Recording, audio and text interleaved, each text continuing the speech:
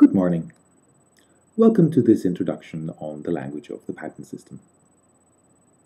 Like many subcultures, the patent industry has developed its own jargon, which may sound familiar but carries its own very special semantics. The observer of the patent system, learning the real meaning, can better understand what patent experts are actually saying to each other. Possibly the most important term in the patent industry is inventor. Now, what inventor means is someone who writes patents. Likewise, the related word, invention, means a patent.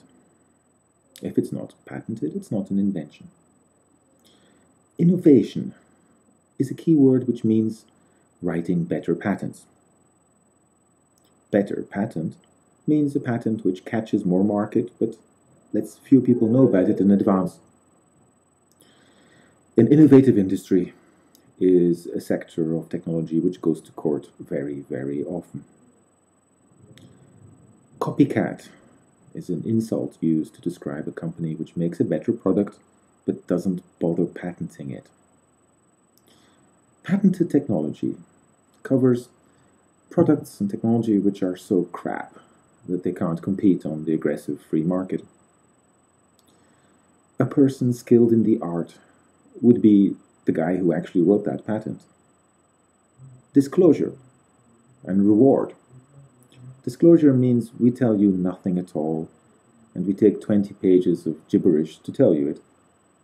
And reward means that we will then sue you and make money from your products.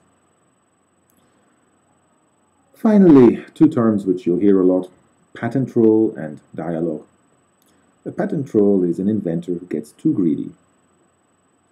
Dialogue means we'll tell you what to think and what to say.